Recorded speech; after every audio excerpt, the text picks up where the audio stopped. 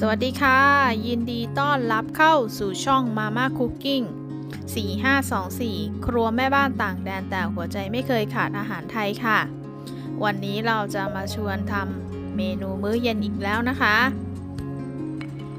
วันนี้เราจะมาชวนทำเป็ดพะโล้ค่ะ วิธีทำนะคะ สูตรนี้ก็ไม่ยากนะคะ วัตถุดิบก็น้อยแล้วก็ทำได้รวดเร็วมากเลยค่ะ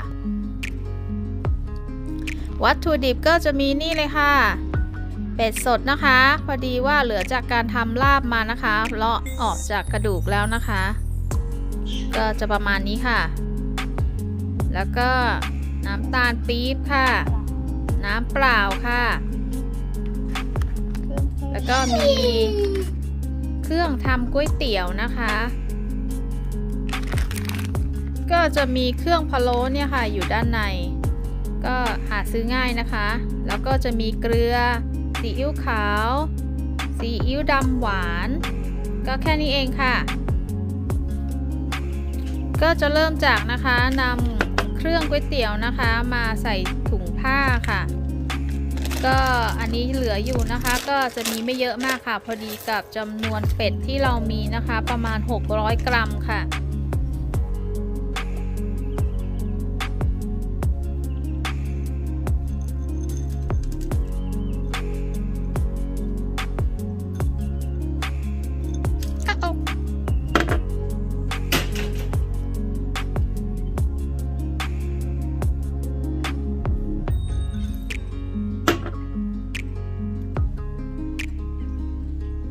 ใส่เสร็จแล้วก็มัดถุงให้เรียบร้อยนะคะ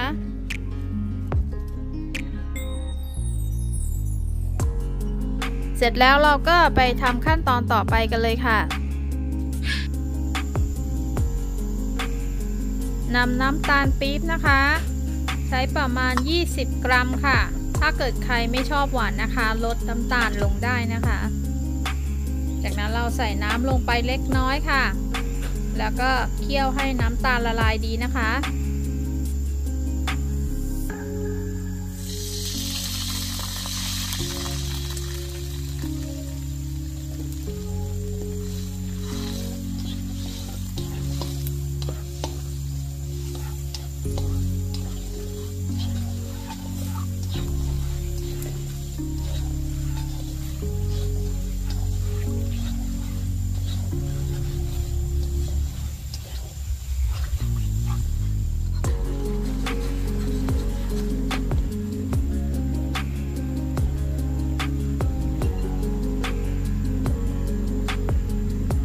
นั้นเราก็ใส่ซีอิ๊วขาวลงไปประมาณ 2 ช้อนค่ะ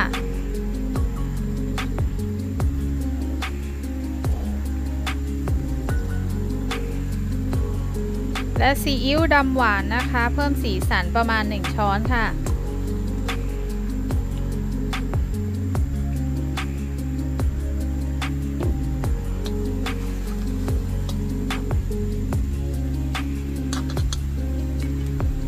ใส่เกลือเพิ่มอีกนะคะ ประมาณ 1 ช้อนชาค่ะ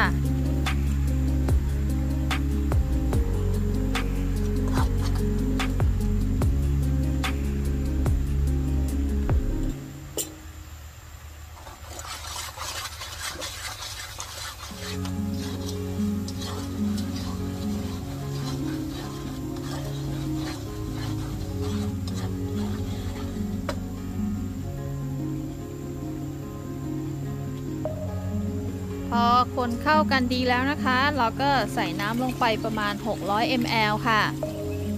กะว่าให้พอดีกับตัวเนื้อเป็ดของเรานะคะ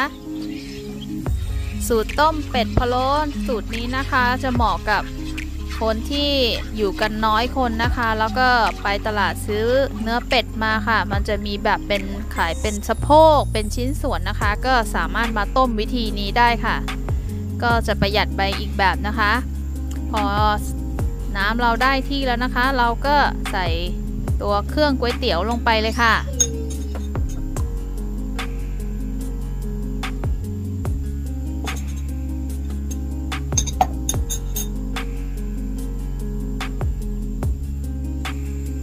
ต้มต่อไปจนน้ำเดือดนะคะ พอน้ำเดือดได้ที่แล้วเราก็ใส่เนื้อเป็ดลงไปได้เลยค่ะ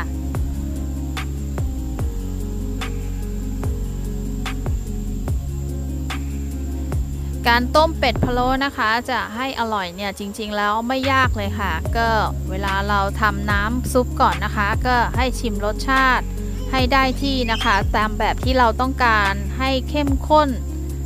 มากกว่าปกตินิดนึงค่ะ เพราะว่าเวลาเราต้มแล้วเนี่ย ตัว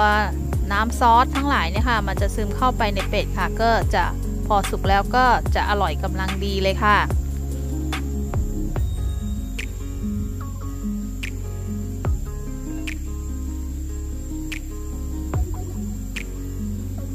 เนื่องจากว่าเป็ดไม่ใช่ทั้งตัวนะคะ เป็นเฉพาะส่วนเป็นเนื้อนะคะ เราก็จะต้มแค่ 40 นาทีเท่านั้นค่ะ ก็เดี๋ยวหลังจาก 40 นาทีแล้วเรามาดูกันค่ะ ช่วงระหว่างนี้นะคะ ต้มไปก็อย่าลืมช้อนฟองทิ้งด้วยนะคะ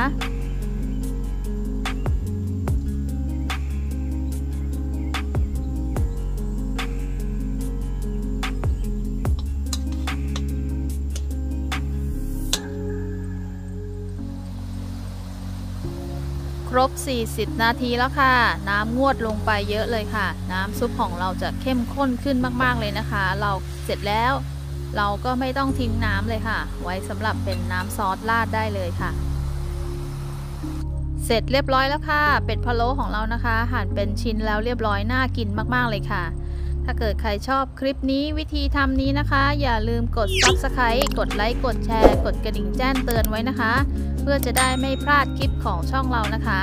วันนี้ช่องมาม่าคุกกิ้งขอลาไปก่อนนะคะ พบกันคลิปหน้าค่ะ